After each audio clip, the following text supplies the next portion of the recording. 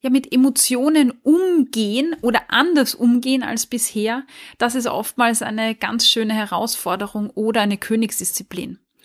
Nämlich, wie geht man anders mit Emotionen um?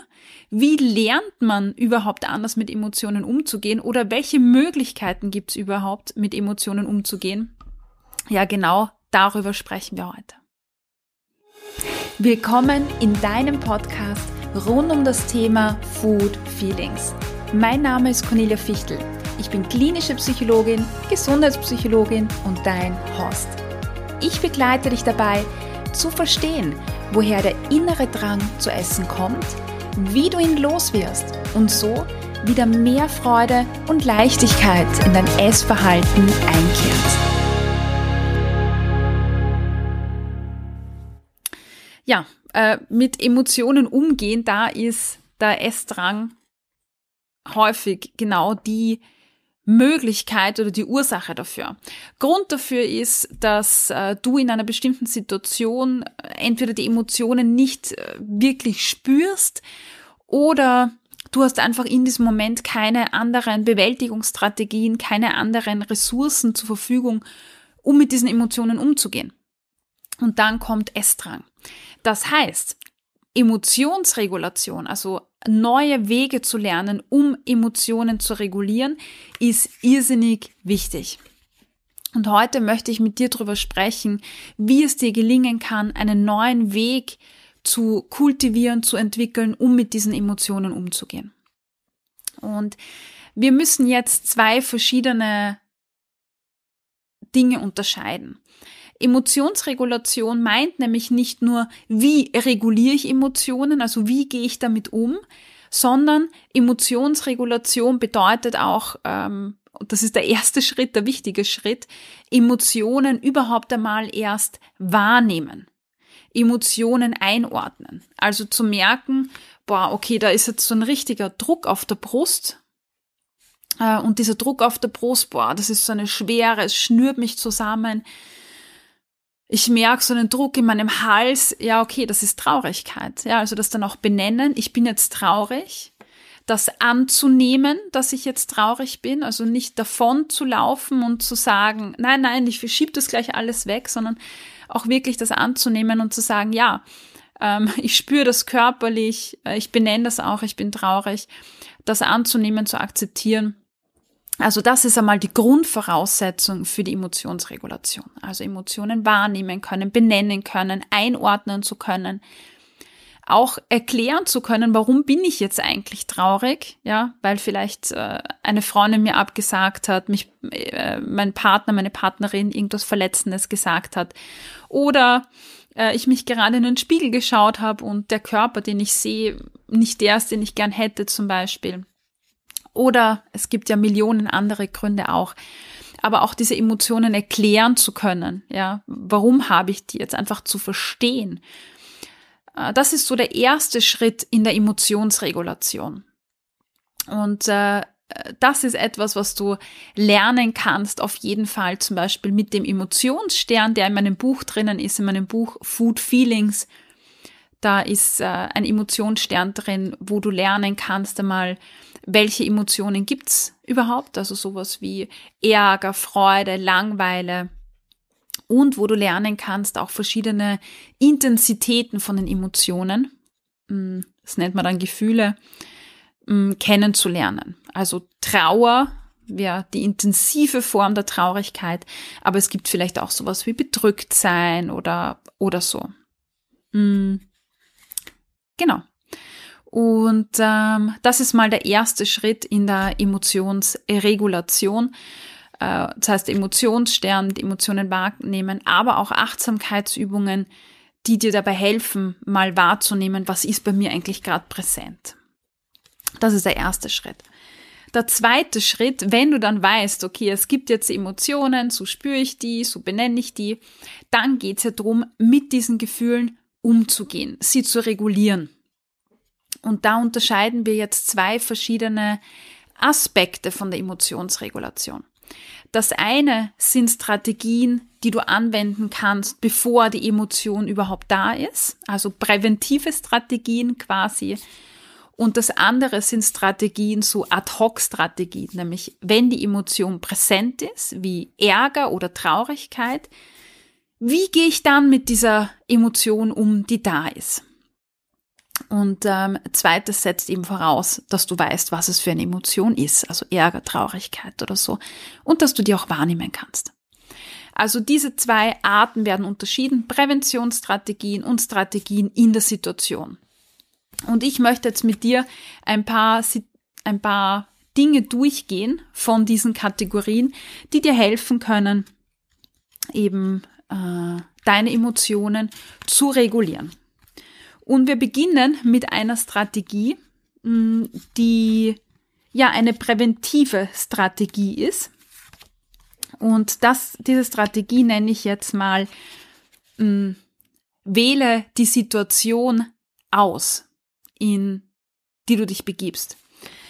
Das ist eine ganz wichtige Strategie, weil wenn du dich kennenlernst, ja, und lernst auch Emotionen zu spüren, dann wirst du eventuell wahrnehmen, dass bestimmte Situationen dazu führen, dass unangenehme Emotionen auftreten. Also zum Beispiel gibt's da ähm, diese bestimmte Freundin oder diesen bestimmten Freundeskreis. Und jedes Mal, wenn du dich in die Situation begibst, also und diesen Freundeskreis triffst, dann tritt bei dir eben diese, dieses, äh, dieses Unwohlsein zum Beispiel aus, auf. Das heißt, du lernst, zu, also wirklich zu unterscheiden, möchte ich mich aktiv in diese Situation begeben oder möchte ich das nicht? Und manche Situationen wären vorher, also vor, äh, zu verhindern sein und manche Situationen werden nicht zu verhindern sein. Aber es ist wichtig, dass du ganz bewusst einmal wahrnimmst, ja, welche Situationen, welche äh, Kontexte tun mir gut und welche tun mir überhaupt nicht gut. Und bei denen, die dir überhaupt nicht gut tun, aktiv einfach mal zu unterscheiden, möchte ich das noch, möchte ich das nicht. Ja, ähm, ich glaube, das ist etwas ganz, ganz Wichtiges. Hm. Wenn du weißt, äh, immer bei dieser, bei dieser Familienfeier, wenn diese eine Tante zum Beispiel dabei ist, ähm, die ständig dumme Kommentare ablässt, ja, über ihren eigenen Körper, über deinen Körper, kannst du dir ganz bewusst aussuchen, möchte ich da hingehen, wenn die da ist, oder möchte ich das eben nicht mehr? Und das gibt dir Kontrolle. Ja, das gibt dir Kontrolle, das gibt dir eine Möglichkeit zur Selbstregulation. Zu sagen, setze ich mich dem aus, wenn ich weiß, dass es mir nicht gut tut. Wenn ich weiß, jedes Mal, wenn ich dann nach Hause komme von dieser Familienfeier, wo diese Tante da war und mich da irgendwie äh, blöd äh, angeredet hat, Kommentare abgelassen hat, dann komme ich nach Hause und habe einen Essanfall, ja kannst du dir aussuchen, möchte ich das? Ist es mir das wert?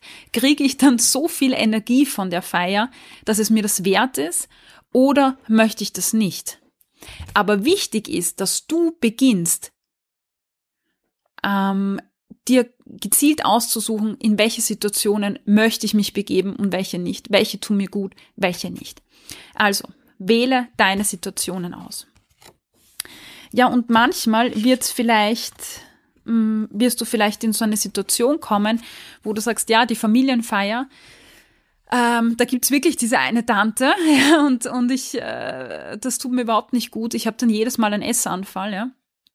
Aber ich möchte mich in die Situation begeben, weil die Familienfeier an sich, so wie Weihnachten, passt ja jetzt gut dazu, weil ich die Weihnachtsfeier mag oder weil ich da hingehen muss, weil man es halt so tut, weil man das macht äh, weil man zu Weihnachten zum Beispiel äh, tatsächlich von einer Feier zur nächsten fahrt, am 23., am 24., am 25., am 26., bei den Eltern, bei den Schwiegereltern, bei den anderen Eltern, äh, bei den einen Großeltern, bei den anderen, bei den Geschwistern. Ja, also wenn du sagst, ich, das macht man so und ich möchte das, weil es macht mir auch Spaß, dann kommt die zweite Möglichkeit zu regulieren, nämlich verändere die Situation. Also das wäre jetzt, wenn du diese eine Tante hast bei der Weihnachtsfeier, könntest du zum Beispiel ganz klare Grenzen aufzeigen bei dieser Tante und sagen, stopp, diese Gespräche möchte ich nicht. Oder du legst dir Strategien zur Hand, die du ähm, für dich hast, um dann, um damit umzugehen, wenn es soweit ist. Also wenn du merkst, ähm, das verursacht bei dir gerade totalen Druck, totale Traurigkeit, dann hab eine Strategie parat, dass du aufstehen kannst, in einen anderen Raum gehen kannst, dass du in einem anderen Raum mal eine Atemübung machst, um dich runterzuholen. Oder ähm, gib deinem Partner, deiner Partnerin ein Signal, ja, dass die dich unterstützen kann.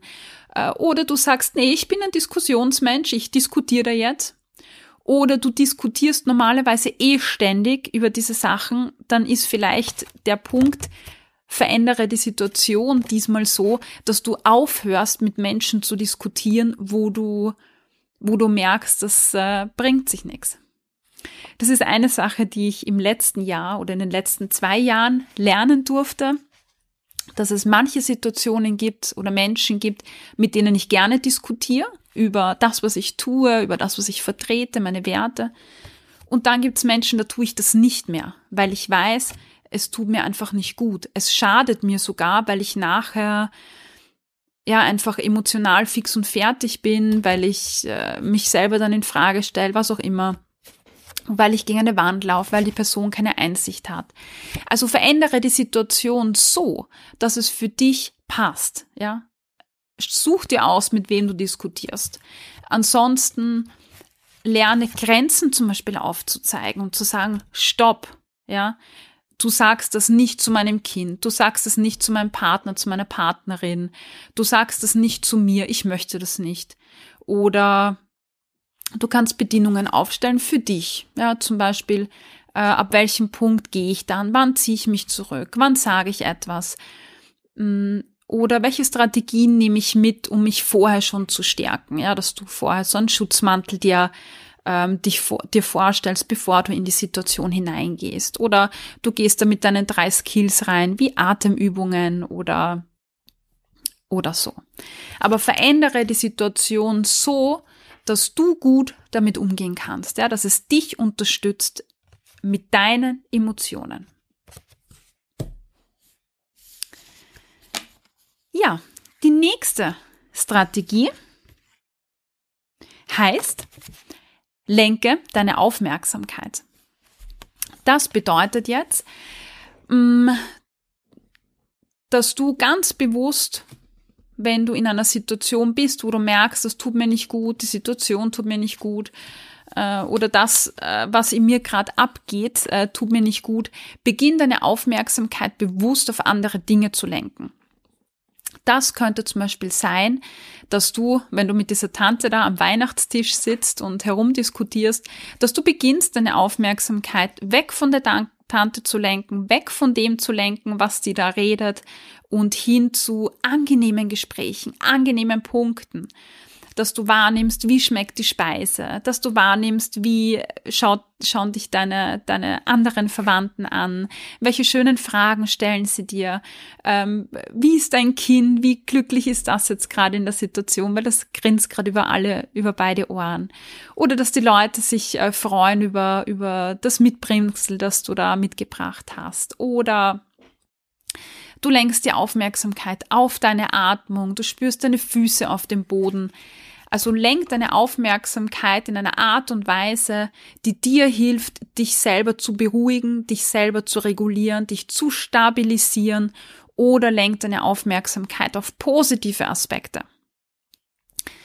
Dasselbe wäre zum Beispiel, wenn du vorm Spiegel stehst, deinen Körper im Spiegel äh, siehst und dir denkst, oh mein Gott, das passt nicht und das passt nicht dann wäre eine geeignete Strategie beispielsweise, dass dein Fokus, dass du deinen Fokus weitest und auf andere Körperteile lenkst, die du okay findest oder sogar super findest.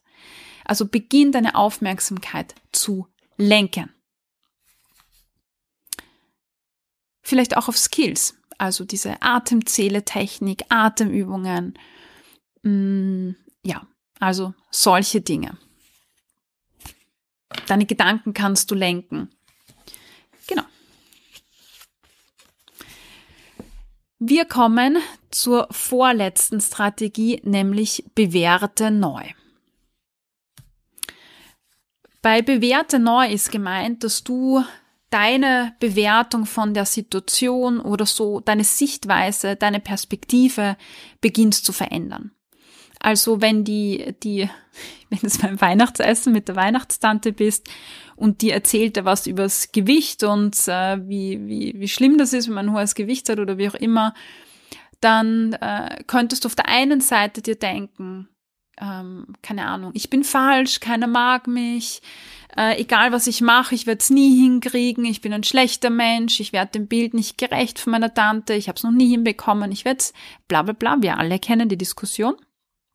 Also du kannst in die Richtung denken, aber du kannst ja auch denken, ja, die Tante, ja, die weiß es nicht besser, die hat keine Ahnung, die hat all das Wissen nicht, das ich mir da angeeignet habe durch das Food Feelings Buch oder den Food Feelings Podcast oder durch andere Podcasts oder in der Achtsam Essen Akademie äh, was ich da gelernt habe, das weiß die halt alles nicht. Ja, die ist halt eingeschränkt in ihrer Sichtweise und die Arme kann gar nicht anders, ähm, hm, kann gar nicht anders damit. Also das wäre zum Beispiel eine Änderung der Bewertung, eine, eine Änderung der Perspektive oder Sichtweise, die dir helfen kann, in der Situation nicht alles gegen dich zu bewerten, sondern ja, einfach eine neue Bewertung ähm, zu haben. Dasselbe ist, wenn du negative Selbstgespräche hast, ja, dass du, dass du äh, beginnst, doch diese Selbstgespräche zu verändern. Indem du nicht sagst, äh, du bist schlecht oder du hast was nicht hinbekommen, sondern indem du es relativierst und siehst, Momente mal, vorgestern, vorvorgestern habe ich so viele tolle Fortschritte gemacht, das ist mir gut gelungen, äh, ich habe auf mich acht gegeben, ich habe ähm, äh, mir eine Auszeit gegönnt, ich habe mich bewegt, ich habe mir was Gutes zum Essen gekocht, ich habe mir Zeit genommen, um was in der Akademie zu bearbeiten. Also Dinge zu relativieren, neu zu bewerten und einfach einen Perspektivenwechsel ähm, zu machen.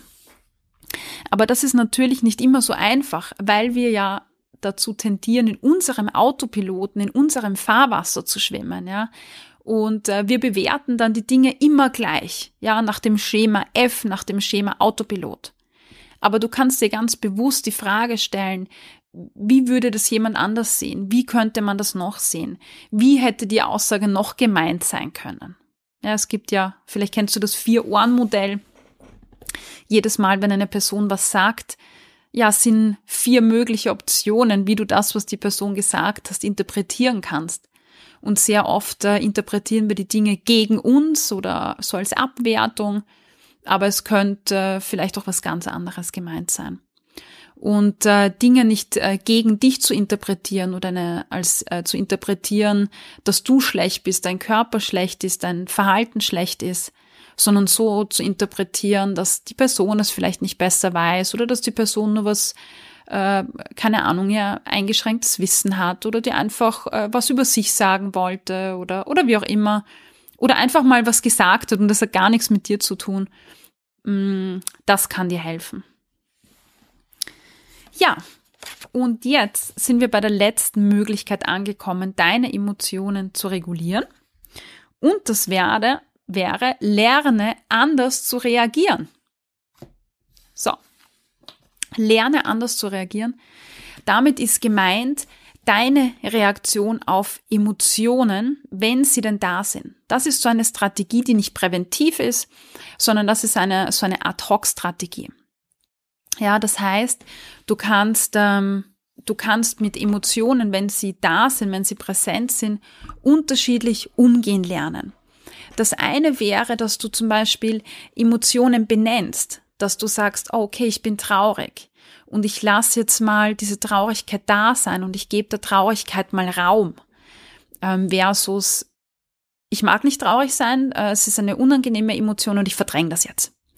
Also dieser Emotion Raum geben wenn Emotionen ganz besonders intensiv sind, könntest du dich ablenken. Das wäre auch eine Möglichkeit. Also ganz bewusst zum Beispiel mit einer Atemtechnik, mit äh, Yoga oder was auch immer, dich abzulenken, also nicht verdrängen die Emotion, dass du ignorierst, dass sie da ist, sondern dass du ganz bewusst dich entscheidest, okay, ich bin traurig, aber die Traurigkeit ist gerade so intensiv und ich mache jetzt bewusst etwas anderes. Ich treffe mich jetzt bewusst mit Freunden, um einmal auf andere Gedanken zu kommen. Ähm, zum Beispiel sowas.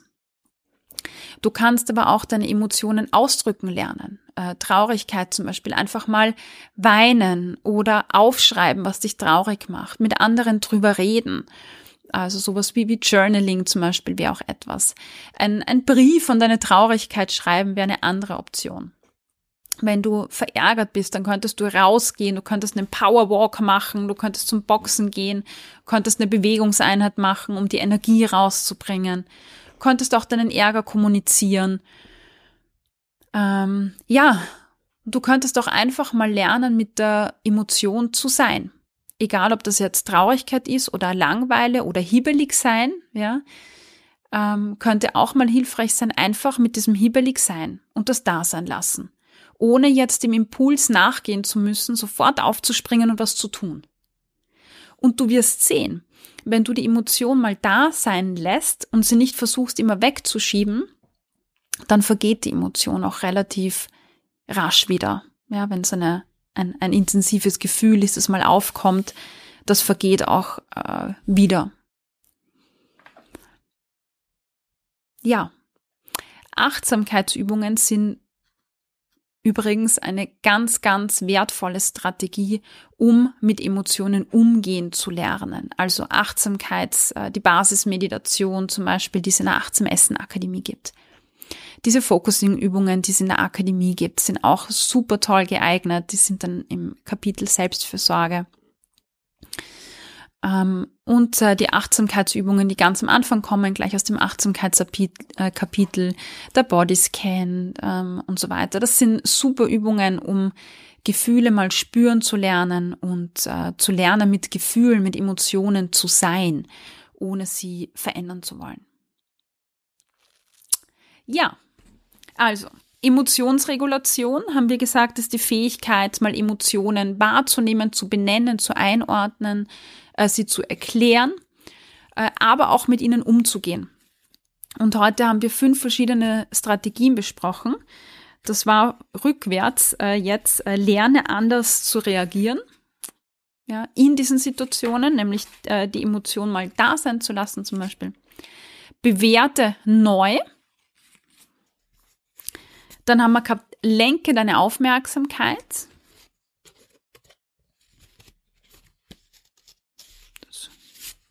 Dann haben wir verändere die Situation und dann haben wir wähle die Situation aus. Das sind die fünf Strategien und äh, ja, in jeder Situation kannst du vielleicht eine oder mehrere sogar anwenden. Sei kreativ, probier aus, ja, probier verschiedenes aus und je besser, je mehr du ausprobierst, äh, desto besser lernst du dich kennen, desto besser weißt du, was funktioniert in welcher Situation gut und so kommst du dann auch gut durch solche Situationen wie eben das Weihnachtsessen. Ja, ich wünsche dir viel Spaß. Ich hoffe, du hast dieses Thema Emotionsregulation so ein bisschen konkreter jetzt, handfester. Und ich wünsche dir wirklich viel Spaß beim Ausprobieren und Tun.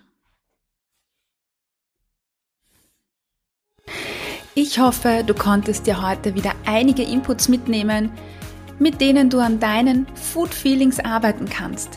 Gib mir Feedback auf Apple Podcast oder Spotify und verrate mir, was dir besonders geholfen hat. Außerdem kannst du dich mit mir auf Instagram vernetzen unter Cornelia-Fichtel. Alle Links findest du in den Show Notes.